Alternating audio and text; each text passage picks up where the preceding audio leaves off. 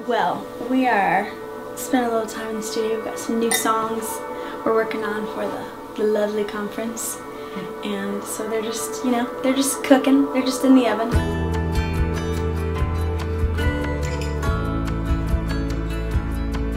Early on in my first year of marriage, I started, um, I just had this encounter with the Lord at home, sitting at the piano, and I just started playing, you know, back and forth on a couple chords, and I felt like this, like I was in a sway, you know, like I was in a dance.